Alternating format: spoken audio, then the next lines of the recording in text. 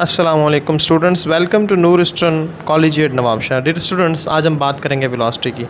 अब अगर हम स्पीड की डेफिनेशन के बाद वेलोसिटी को देखें तो उसकी डेफिनेशन कुछ इस तरह से है कि the distance cover by a body in a particular direction is called velocity कोई भी बॉडी किसी पर्टिकुलर डायरेक्शन के अंदर कोई फासला तय करे या कोई डिस्टेंस तय करे तो हम उसे वेलोसिटी कहते हैं। और और displacement cover by a body in unit time is called velocity unit time में जो बॉडी डिस्प्लेसमेंट कवर करेगी, वो उसकी वेलोसिटी कहलाएगी. It is a vector quantity ये एक वेक्टर क्वांटिटी है and its direction is in the direction of the motion of the body और वेलोसिटी की वही डायरेक्शन होगी, जो बॉडी की मोशन की डायरेक्शन है, यानी कि जिस डायरेक्शन में बॉडी मूव कर रही है. अब इसके फार्मूले को देखते हैं तो इसका फार्मूला होता है velocity is equal to displacement upon time velocity की जगह पे हम v रखेंगे और डिस्प्लेसमेंट की जगह पे हम d रखेंगे और टाइम की जगह पे हम t रखेंगे। अब अगर इसके यूनिट की बात करें तो डिस्प्लेसमेंट का यूनिट जो होता है, वो मीटर होता है और टाइम का यूनिट सेकंड होता है तो इसलिए वेलोसिटी का यूनिट होगा मीटर पर सेकंड और मीटर सेकंड इनवर्स इसके बाद बात करते हैं टाइप्स ऑफ़ वेलोसिटी की। Number one uniform velocity When speed and direction of motion do not change, the velocity is said to be uniform. जब स्पीड और डायरेक्शन किसी बॉडी की चेंज नहीं होंगी मोशन के दौरान तो उस वेलोसिटी को हम यूनिफॉर्म वेलोसिटी कहेंगे। Number two variable velocity the velocity of the body change of either its speed change और डायरेक्शन और both of them such a velocity is called variable velocity अगर किसी बॉडी की स्पीड चेंज हो या direction change हो या दोनों ही, यानी डायरेक्शन और स्पीड दोनों एक साथ चेंज हो तो ऐसी वेलोसिटी को हम वेरिएबल वेलोसिटी कहेंगे। अब अगर हम यहाँ पर एक प्रॉब्लम देखें तो यहाँ पर एक बॉडी है जो ए पॉइंट से लेकर बी पॉइंट तक इस ब्लू लाइन को फॉलो करते हुए आ रही है। ये ब्लू लाइन इसके डिस्टेंस को शो कर रही है, लेकिन अगर हम डिस्प्लेसमेंट निकालते हैं तो वो ए से लेकर बी तक के शॉर्टेस्ट डिस्टेंस का नाम है। यहाँ पर जो रेड लाइन है, वो डिस्प्लेसमेंट को शो कर रही है। अब अगर हम कहते हैं कि displacement D is equal to one twenty metre है और टाइम सिक्सटी सेकेंड है तो वेलोसिटी क्या होगी? और जब हम इसको फार्मूले में पुट करेंगे फार्मूला हमारे पास है V is equal to displacement upon time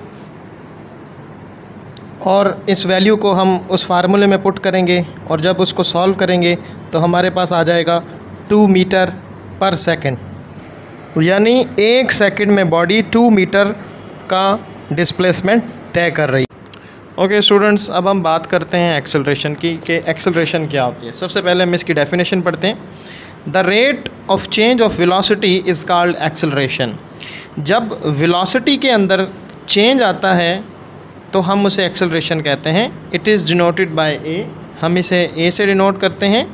It is a vector quantity और ये एक वेक्टर क्वांटिटी है। और acceleration depends upon the velocity if the velocity continuously increase or decrease the acceleration will be produced और acceleration जो depend करती है वो velocity पे करती है कि velocity continuously increase या decrease होगी तो acceleration produce होगी इसके बाद हम इसके फार्मूले को देखते हैं acceleration is equal to change in velocity divided by change in time acceleration को हम सिमाले से शो करते हैं और चेंज इन वेलोसिटी को हम शो करते हैं V F minus V I divided by time time को टी से शो करते हैं। उसके बाद, अब ये जो V F minus V I है, यहाँ पर हुआ है चेंज तो हम चेंज को लिखते हैं डेल्टा वी के साथ। Delta V over delta T इसके बाद बात करते हैं यूनिट की। The S I unit of acceleration is metre per second square और metre second inverse square students इसके बाद बात करेंगे टाइप्स ऑफ़ एक्सेलरेशन की सबसे पहली टाइप है positive acceleration if the velocity of the body increase continuously then the acceleration is said to be positive और simple acceleration and its direction as that of the motion अगर किसी body की velocity continuously increase हो रही है तो हम उसे पॉजिटिव एक्सेलरेशन कहेंगे और सिंपल एक्सेलरेशन कहेंगे, और उसकी जो डायरेक्शन होगी वो मोशन के साथ होगी।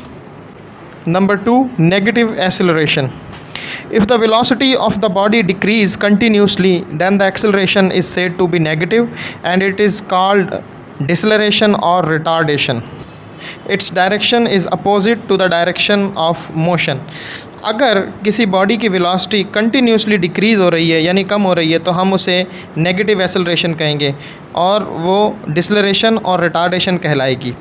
और इसकी जो डायरेक्शन है, वो मोशन के अपोज़िट होगी। तो स्टूडेंट्स आज हमने पढ़ा वेलोसिटी और एक्सेलरेशन आप इसको अच्छी तरह पढ़ें और याद करें, अगर किसी किस्म की कोई प्रॉब्लम हो या कोई भी सवाल हो तो आप मुझसे पूछ सकते हैं। अपना ख्याल रखिएगा। अल्लाह हाफिज़।